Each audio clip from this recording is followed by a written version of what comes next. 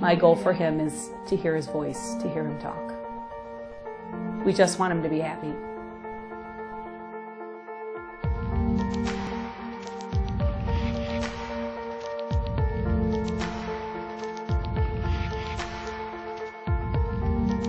This is more than just make it so that he doesn't have seizures anymore. I want him back. I want him to thrive and live and enjoy us. And if a plant can do that, why do we object?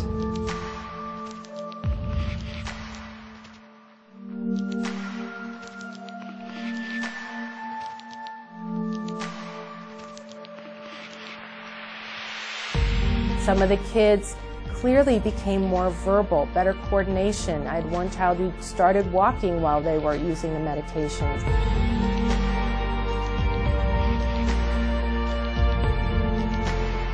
We instantly saw results. He was smiling again. We noticed the decrease in seizures. He was able to transition. And at this point, he was finally able to gain cognitive skills.